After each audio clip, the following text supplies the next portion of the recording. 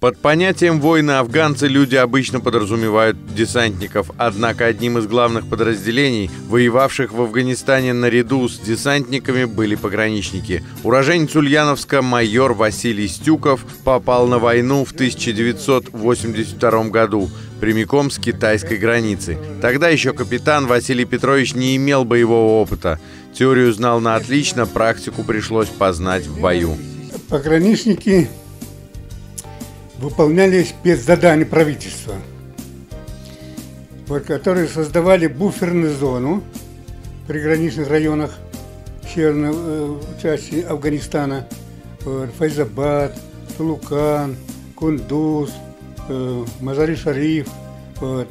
И они обеспечивали э, сначала, значит, все очищали все населенные пункты от формирований очищали. Вот. И в течение, вот, э, когда нас вели туда, в течение трех э, недель мы каждый день э, обрабатывали, проводили операцию, э, от бандитов очищали населенные пункты и выполняли задачу вместе с афганскими солдатами.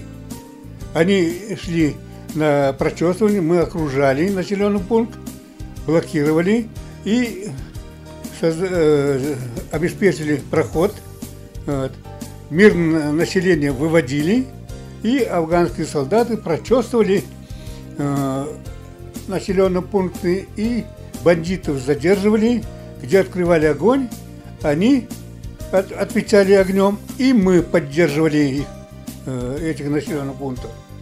Вот. Таким образом, в течение трех недель мы в приграничных районах э, буферной зоне очистили все населенные пункты. Постоянная опасность. Командиров душманы-снайперы убивали первыми. Приходилось снимать знаки различия, знать, запоминать каждого в лицо. Партизанская война, которую вели афганские сепаратисты, означала, что покоя и расслабления нет нигде. В этих условиях было очень трудно сохранять войсковые колонны, беречь чужие жизни тогда, когда своя собственная постоянной опасности. Колонна идет на Файзабад, допустим. Файзабад. Колонна 400-500 единиц э, техники смешанной. Боевая техника, которая обеспечивает э, на колесах, на автомашины и там тамбадона. Очень длинная колонна. Мы обеспечили опасные участки, прикрывали. Бывали такие случаи, нападают, бьют э, из гранатомета. Вот. На коне подъехали, со сопки э, обстреляли по, нашей колонии, по первой машине, по средней машине и по последней машине. И сами ускакали назад. А боевая машина, БМП-1, они там не оправдали. Машина была очень хорошей, но на равнине. Пушка и пулемет, которыми они снабжались, поднимались только на 45 градусов. Поэтому перед верховым маджахедом, стреляющим сверху, экипаж был беззащитен. Пограничники были единственным спасением для беззащитных колонн до появления новой машины – БМП-2. И там другие моменты были, фальборта ниже опустили, потому что э, граната попадает – прошивает броню, э, граната детонирует и погибает все, кто там есть в боевой машине пехотной. Вот.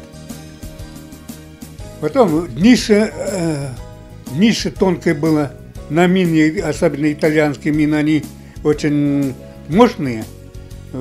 Взрываются на мине и все, детонируются опять тоже, все погибают.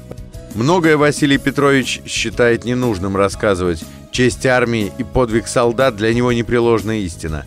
В подразделении Стюкова жесточайшая дисциплина. Только она, как считает командир, помогла привести с войны всех солдат живыми. Раненые были. Но главная гордость, по словам боевого майора, ни одна мать не получила от него похоронки. Командовал я заставой. Застава. Застава называлась рота. Застава это рота.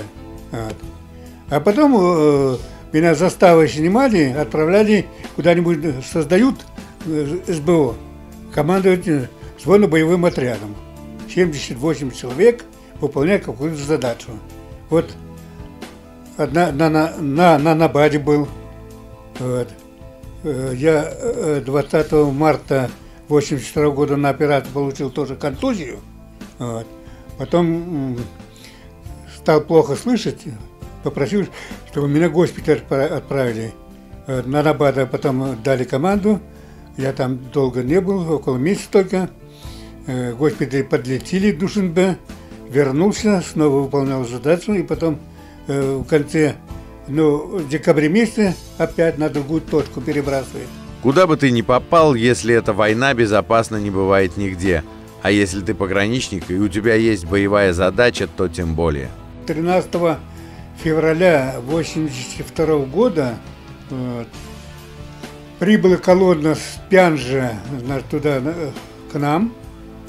Мы все соединились, вот, мотоман-группа там и другие подразделения и так далее. Везли с отряда все, что необходимо, нужно для проживания. Вот. 130 единиц автомашин, автомашин и боевой техники. Вот. Колонну мы должны были э, вести туда Тулукан. Вот. Последний день, думаю, вот уже осталось немного и так далее. Меня поставили впереди, походной заставе, вести эту колонну. Это очень сложная задача. Вот, мы э, тронулись э, 9 часов утра. Шли, готовые открыть огонь в любой момент. Первая машина ствол вперед, вторая направо, третья налево и так далее. Те, кто воевал в Афганистане, называют это ласково – елочкой. Вдруг впереди стрельба, идет бой. Кого, с кем, кто стреляет?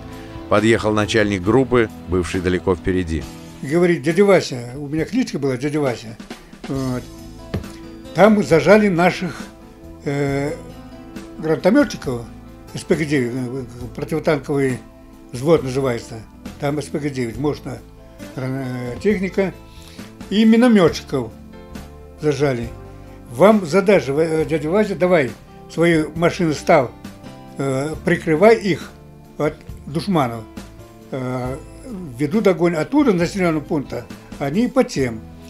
Мы, я э, дал команду своим замам и командирам машины расставить через каждые 100 метров э, боевые машины и начали вести огонь, прикрывать. В это время минометная батарея, противотанковый взвод загрузили все и в общую колонну э, присоединились. Дело к вечеру.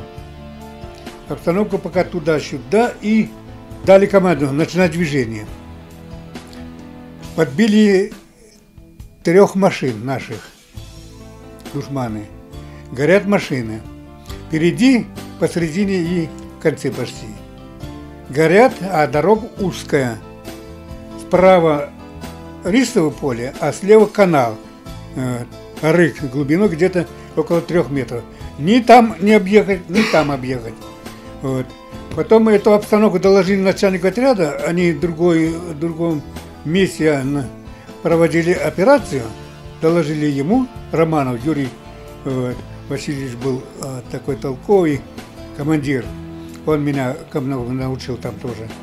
Вот, подъехал, говорит, дядя Вася, давай прими все меры, толкнули эти машины, горячие машины, убрать с дороги. Вот. БМП проходит по лисовому полю, там, где вода, а БТР садятся – вот, они не могут пройти. Вот на э, заместителем поставил задачу первых, вот, он недавно приезжал ко мне, полковник в Воронеже живет сейчас. Э, давай, ну позвони у каждого, толкайте эти машины в рык, пусть там догорают. Рискуя жизнью, майор Стюков справился с этой задачей, и колонна вышла из-под огня. Девять человек были ранены, двое тяжело. На место прибыли в 12 часов ночи. Спать пришлось в парке, потому что иного места новоприбывшим не нашлось. Некоторые заявляют, что на войне не страшно. Это не, немножко не тот человек заявляет, который был в бою. Вот. На войне страшно. Когда привыкнешь уже, когда снаряды разрываются, гранаты, пули свистят и там потом, потом потихоньку привыкаешь. И тогда уже немножко, кажется, э, по-другому воспринимаешь. А так первое время, конечно, страшно на войне. В войне в Афганистане участвовало 62 тысячи пограничников. Они обижаются, когда люди, вспоминающие Афган, не упоминают этот род войск. А ведь любая колонна, движущаяся в те годы по Афганистану, находилась под охраной пограничников. Вспоминая, говоря о тех событиях, не забывайте пограничников. Они эту память заслужили.